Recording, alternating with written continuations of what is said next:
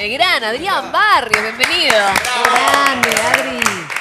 ¿Cómo va, Adri? Encantado de estar de vuelta con ustedes. El Vamos a hablar de un tema de actualidad, el famoso llamado al 911, en el cual un radiooperador imparte órdenes para poder salvarle la vida a un chiquito, el cual imparte órdenes para que su papá realice tarea de reanimación. Sí. ¿Querés eh, que escuchemos primero? eh, tenemos eh, el corte de Bien, ese audio para sí, sí. presentar el tema y, y después lo Podremos desarrollamos. analizarlo. Dale. 911, buenas noches. Sí, buenas noches. Mira, eh, tengo a mi hijo que no reacciona. Necesito una ambulancia, por favor. Está tomando la teta y no reacciona. No reacciona. Sí, por favor, que es urgente. Me mandas una Bien, ambulancia. ¿Tiene pulso bebé? ¿Respira? ¿Quién- ¿Respira, Mariela?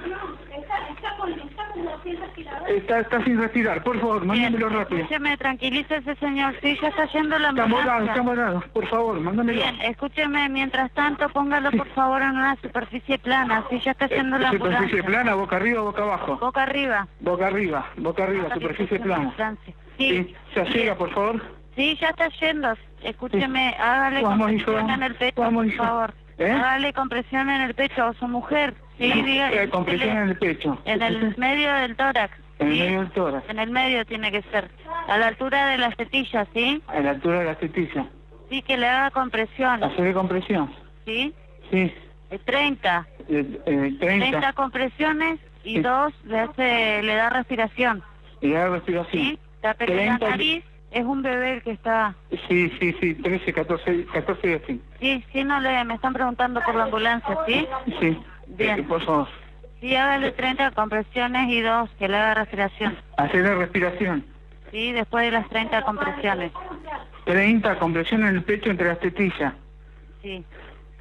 Con una mano, sí, con la palma de la Con la mano. mano, por con la palma de la mano. Ya viene. Sí, ya está yendo la ambulancia. Mientras tanto haga eso, sí. Repítalo, repítalo cinco veces y vea si reacciona el bebé o por lo menos... Tiene, tiene alguna reacción, pero está como perdido.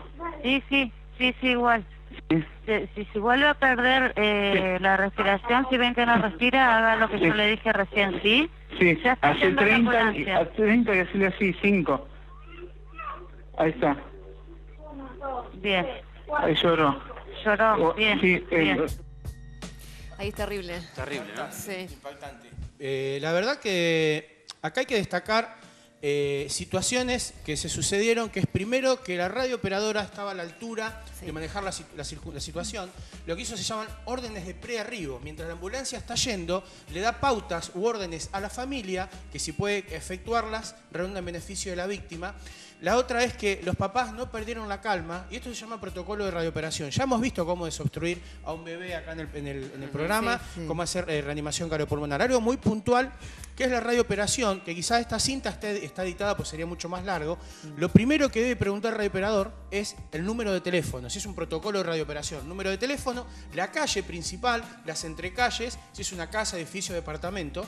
Y después la pregunta de oro, que es donde empezó el audio. ¿Está consciente? ¿Respira? Si la persona que solicita el servicio de emergencia dice que está consciente y que respira, se pasa al protocolo, es cuál es el motivo de su llamado. Ahora, si la pregunta es no está consciente, no respira, se emplean, según el protocolo, las órdenes de prearribo, que son las que empleó la radiooperadora. Es un puesto muy estresante ser radiooperador de emergencias. Me ha pasado, yo soy radiooperador, he trabajado, no trabajo ahora, pero hice el curso, y he trabajado y por ahí te llaman a los gritos. Este padre, dentro de su nerviosismo, llamó con, una- con- con calma, pero hay gente que llama a los gritos. Lo que vale destacar acá, todas las personas están viendo el, el- el programa en la provincia de Buenos Aires, cuando llamen a una ambulancia, un servicio de emergencia, por favor sométanse al interrogatorio que hace el radiooperador, que es importante para hallar a buen puerto la situación.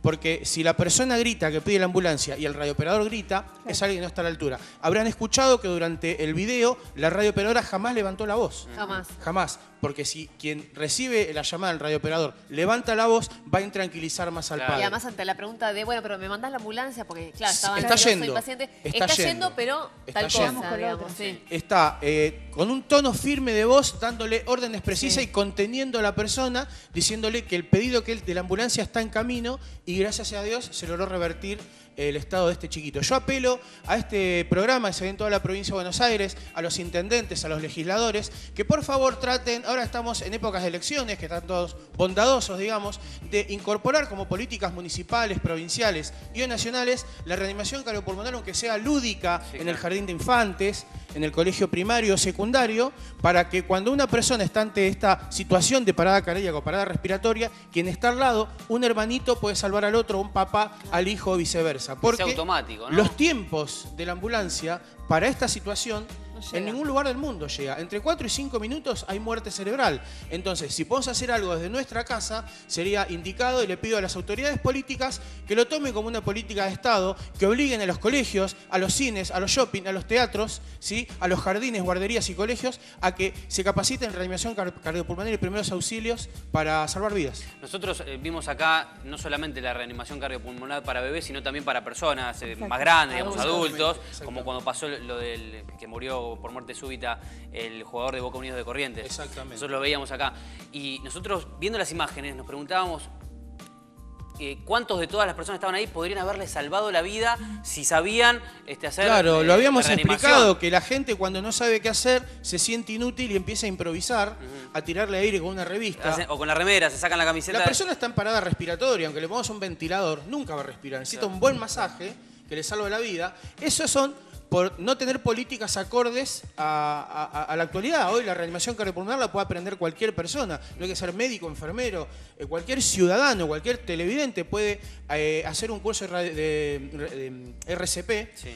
Y más que todo, los colegios. Los Claro. colegios, las guarderías, los jardines, porque cuando algún chiquitito hace una convulsión, las maestras, pobres, entran en pánico. Y es entendible porque no están a la altura de la situación. Entiendan, todos los ciudadanos que haciendo capacitación en reanimación cardiopulmonar y primeros auxilios, podemos salvar la vida de una persona como ocurrió con este bebé en Claro. Río Sí. Negro. Vos, Adrián, cuando hablábamos del tema, te dabas cifras acerca de la cantidad de, de- de gente que muere. De producto 40 a esto. 80 mil personas por año. Claro, es una locura. En todo este Es tiempo locura. murieron tres personas. Lo que pasa es que no, no sale en el diario quién murió hoy de un paro No, cardíaco, totalmente. sino sale el famoso. Estamos hablando de este tema porque se ha mediatizado, Sí. en- alguien lo subió, Sí. lo, lo- lo- lo promocionó en televisión. Sí. Si no, ¿cuántos bebés se mueren por día? De muerte súbita, les puedo traer en otro programa las cifras. La idea es difundirlo y poder destapar a aquel ciudadano que tenga ganas de capacitarse en aprender lo que le dictó este radiooperador al papá y salvarle la vida a su hijo, a un vecino o a un ser Totalmente. querido. Adri, como siempre, sirve de muchísimo. ¿eh? Gracias chicos por el espacio que me dan. Dale. Gracias, Adrián.